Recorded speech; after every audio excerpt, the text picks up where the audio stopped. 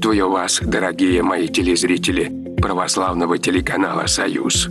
Я дед Еремей. Завтра на календаре 3 мая. Наши бабушки и дедушки в этот день по приметам судили о грядущей погоде. Ежели на небе радугу увидели, да еще двойную к улучшению погоды в ближайшие дни. Но не за горами сильные дожди. Каль молния блеснула после дождя и без грома к ясной погоде. Если на лужайке уже первые цветы появляются, скоро станет тепло.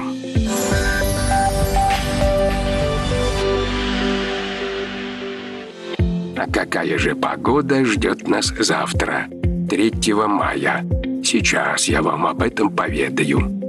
В поселке Цветочный Мценского района Орловской области воздух прогреется до 21 градуса.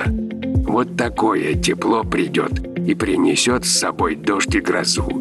Непогода задержится почти на неделю. В деревне Лесные Цветы Сасовского района Рязанской области тоже плюс 21. Только там сухо и солнечно. Обожаю такую погоду. К тому же на майские праздники. Только, дорогие мои, помните о своем здоровье в это непростое время. В селе Цветочное Белогорского района Республики Крым тоже курортная температура, ну, можно сказать, летняя.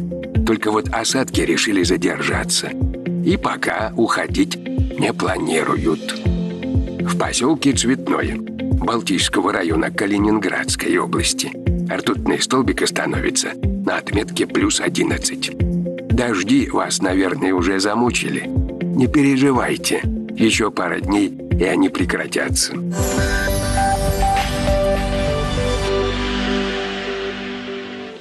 А напоследок хочу пожелать вам, мои дорогие, пусть, несмотря на погоду, в душе вашей всегда светит солнце, а в доме царит теплота и любовь, как заповедал нам Господь.